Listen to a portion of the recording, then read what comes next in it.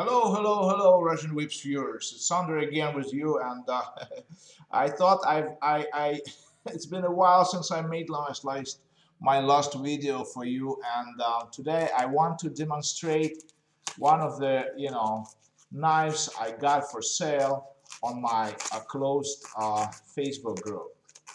Some of you may uh, may have seen it, others see it for the first time. Now I want to show it in action. So this is uh, the you know polyurethane uh, insulation tube I use for covering uh, my you know for shipping my products. Uh, many of you have received nagaikas. I use it uh, you know to wrap nagaikas, to wrap the knives and some other things. I think it's pretty handy. And uh, like now I got this full tube and I want to cut it so I can use it later for you know packaging my shipments. And uh, while I'm doing this I want to explain uh, a little bit about this knife.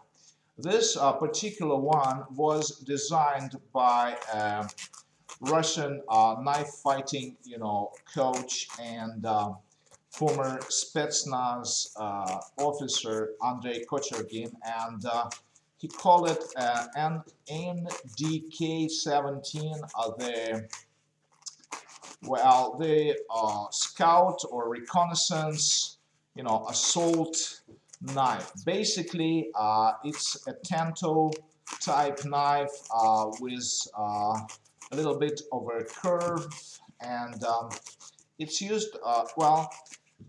The idea behind this knife was to have a very massive stopping power to have a big you know area of impact uh, that would you know uh, inflict a very uh, you know appalling and serious wound to anybody affected. And um, actually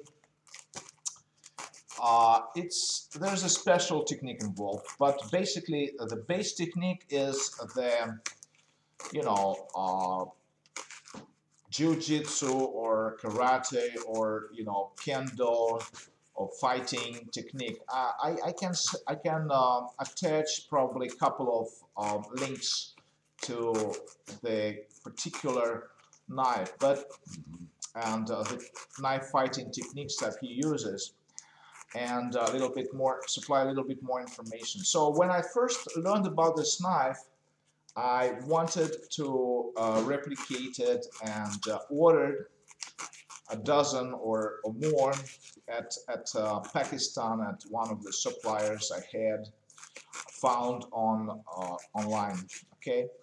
And uh, basically because the original knives go for something like over a hundred bucks in Russia. I know that for for for US and the UK it, it's it's not a lot but like for Russia, it's still a lot of money sometimes uh, for a knife, you know, um, which you are not even sure uh, you, you, really like or want. But it was kind of a, you know, interesting thing, and uh, so I, I, I you know, um, had this entrepreneurial idea to just like uh, order a bunch of knives uh, at a wholesale price and then resell them.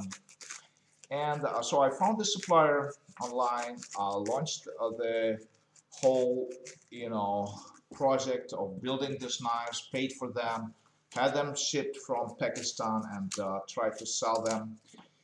But somehow well, I, I still got a few left. So let me let me show you exactly how it, how it works. So this is a, a bit of a curved knife with micarta handle and this thing is massive. I mean it's like six millimeters thick and uh, it's it's uh, has a one-sided one side uh, you know sharpening. The other side is completely flat. So what it does actually uh, because it has this type of blade you can really apply a lot of pressure here and cut very well. You know it's it cuts like a kukri, but the kukri is rounded, and this is kind of sharp. And this this is made of a D2 steel and uh, micarta handle, as I mentioned, and it has, um, as always, the original, you know, leather scabbard with rivets. So what I like about this knife, it's really massive. It's, it can be used as a bushcraft knife or a little hatchet.